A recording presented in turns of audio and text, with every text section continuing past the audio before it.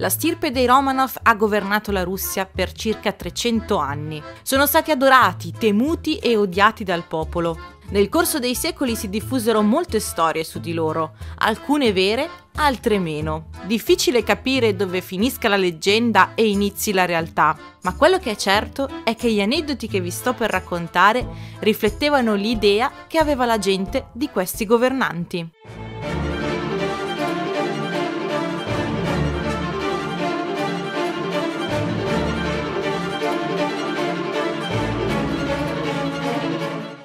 Pietro il Grande, lo zar che trasformò la Russia in un potente impero europeo, aveva la fama di essere spietato e molto intelligente. Ma quello che interessa a noi è che si diceva passeggiasse per la città in incognito, vestito come un comune cittadino, per vedere con i propri occhi come vivevano i suoi sudditi. Una volta entrò in una locanda e si mise a bere birra con un soldato, che chiameremo Geppino. Ridendo, scherzando e tracannando, Geppino si sbottona e gli confida: Sai, ho impegnato la mia spada, metto un bastone di legno nel fodero. Vedrai, non se ne accorgerà nessuno. E quando avrò i soldi, la riscatterò. Il giorno dopo, parata militare. Pietro naturalmente è presente come imperatore e tra i soldati chi vede? Il caro Geppino. Eccolo lì. Gli si para davanti e gli ordina: Soldato, colpiscimi con la tua spada. Geppino sbianca. L'imperatore ripete: Fallo o ti impicco. Così Geppino afferra l'elsa della spada di legno e urla: Dio del cielo, fai un miracolo! Trasforma l'arma in un bastone! E sferra il colpo. Il bastone si spezza, lasciando l'imperatore sano e salvo. Silenzio.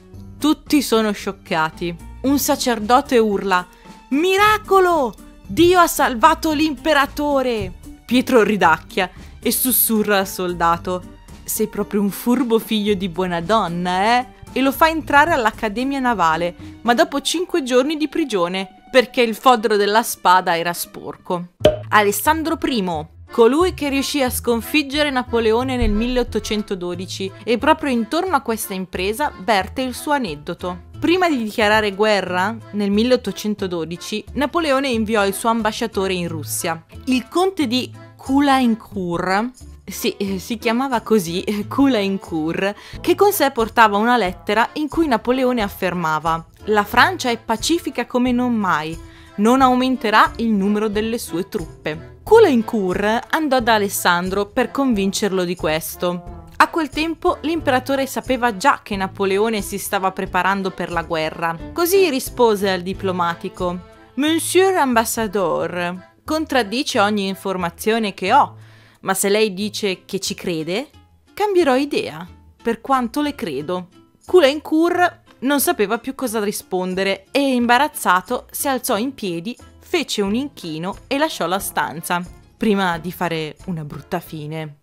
Nicola I. Nicola era un uomo severo e governò l'impero con il pugno di ferro, ma aveva un lato spiritoso che ogni tanto lasciava gli altri stupefatti. Una volta alcuni paggetti stavano giocando nella sala del trono, pensando che non ci fosse nessuno. Uno di loro si sedette sul trono, ma all'improvviso Nicola apparve e lo afferrò per un orecchio il ragazzo, rimasto impietrito, si aspettava il peggio, ma l'imperatore sorrise dicendo Ehi ragazzo, credimi, sedere su questa sedia è molto meno divertente di quanto pensi. Un altro aneddoto racconta di quando un soldato ubriaco iniziò a imprecare in una locanda, proprio accanto a un ritratto di Nicola. Quando gli fu detto falla finita, quello è il volto dell'imperatore, gridò al diavolo l'imperatore, gli sputo addosso. Dopodiché si addormentò e fu arrestato. Quando Nicola seppe di questa storia, disse: Dite al soldato che gli sputo anch'io e lasciatelo andare. E smettetela di appendere i miei ritratti nelle bettole. E per ultimo, un giorno Nicola era infuriato per la corruzione che si diffondeva in tutta la Russia e disse al suo erede: A volte penso che ci siano solo due persone nell'impero che non rubano. Io e te. Alessandro II. Divenne famoso per aver abolito la servitù della gleba nel 1861. Lo zar, durante una visita in una piccola città russa, decise di andare in una chiesa dove si svolgeva un'importante funzione. L'edificio sacro era molto affollato e il capo della polizia locale si precipitò davanti all'imperatore, spingendo la folla per spianare la strada a Sua Maestà. Il poliziotto menava pugni a destra e a manca, urlando con rispetto, con riverenza. L'imperatore, assistendo alla scena, disse di aver capito in quel momento di come la riverenza e il rispetto fossero insegnati in Russia. Alessandro II aveva un umorismo cupo e una volta affermò Non è difficile governare la Russia, ma è assolutamente inutile. Alessandro III Esteticamente sembrava l'emblema del vero uomo russo, un gigante atletico con il barbone. Tuttavia, come molti dei Romanov, aveva poco sangue russo nelle vene. Una volta l'imperatore chiese in privato a uno storico le sue origini gli domandò chi fosse il suo bis bisnonno, ovvero il padre di Paolo I. La madre di Paolo I, Caterina la Grande, era in pessimi rapporti con il marito, quindi si era diffusa la voce che il padre biologico di Paolo potesse essere stato uno dei suoi favoriti di corte. Lo storico allora rispose: Non posso nascondervelo, maestà. Ci sono voci che il vostro bis bisnonno fosse il conte Saltikov e Alessandro. Grazie a Dio! Spero sia vero. In questo caso ho un po' di sangue russo. La Granduchessa Tatiana Nikolavna fu la seconda figlia dello zar Nicola II e crebbe, come tutte le sue sorelle, in maniera modesta, dormendo in culle rigide e senza cuscini e facendo bagni freddi ogni mattina. Era abituata a essere chiamata per nome. Si racconta che in un episodio la sua dama di corte, la baronessa Sofia Buxoeveden, la chiamò Sua Altezza Imperiale. Tatiana fu così scioccata dal fatto di essere chiamata col suo titolo che le diede un calcio sotto il tavolo e disse Sei pazza a parlarmi così? Paolo I, ho tenuto per ultimo il personaggio con più aneddoti. Paolo I era un imperatore duro, fan della disciplina in stile tedesco, e questo episodio ne la prova. Uno squadrone di cavalleria si fermò in un villaggio russo. Scoprirono che non c'era fieno per nutrire i cavalli, tranne che nella casa di un mercante. Il mercante però era disposto a venderlo solo ad un prezzo molto alto. Il capitano della squadriglia diede l'ordine di espropriare il fieno e brontolò. Quel mercante merita la corda. I soldati presero il suo ordine alla lettera e impiccarono il mercante. Quando il capitano fece rapporto dell'incidente, Paolo I lo degradò, ma subito dopo lo elevò a grado di maggiore perché secondo l'imperatore aveva stabilito una disciplina così eccellente tra i suoi uomini che anche il più stupido dei suoi ordini veniva adempito immediatamente. E grazie al piffero, la testa mica era la loro, che gliene fregava ai soldati del povero contadino.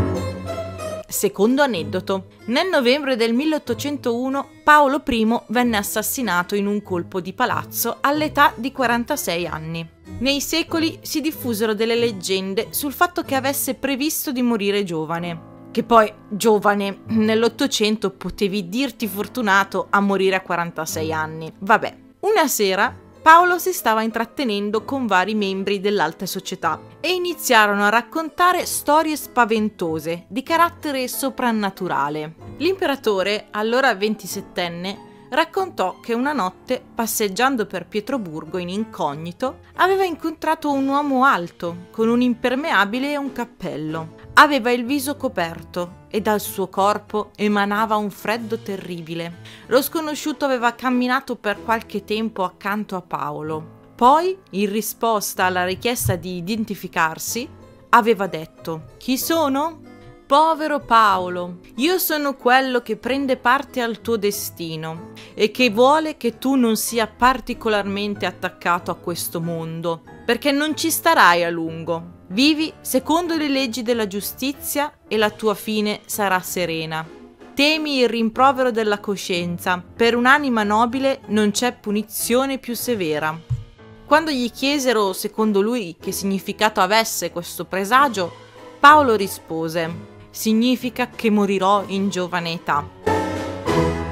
Un'altra storia misteriosa intorno alla morte di Paolo I racconta che la sera dell'11 marzo 1801 l'imperatore stava mangiando quella che sarebbe stata la sua ultima cena ed era insieme ad altre 20 persone. L'imperatore era allegro e scherzava molto. Quella sera Paolo parlò anche della morte con uno dei suoi commensali e disse che andare all'altro mondo non era come cucire una bisaccia. Dopo cena si guardò a uno specchio.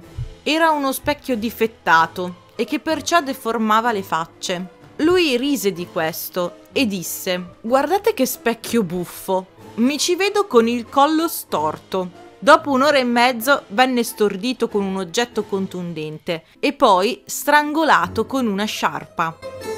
La stessa sera prima dell'omicidio, il figlio di Paolo, Nicola I, entrò nella stanza del padre. Il bambino aveva 5 anni e chiese a suo padre perché si chiamasse Paolo I, perché prima non c'è stato nessun altro sovrano che si chiamava come me, gli rispose l'imperatore. Allora mi chiameranno Nicola I. Se salirai sul trono, gli fece notare il sovrano. Baciò forte suo figlio e lasciò rapidamente le sue stanze. Detto fatto, quella sera, zac, ci lasciò le penne. Grazie per aver seguito questo video, vi ricordo che se acquistate su quel bellissimo sito che si chiama Pumpling, usando il codice ViviEveryday otterrete delle calze gratis, a vostra scelta. Passate a trovarmi su Instagram, mi raccomando, al prossimo video, ciao!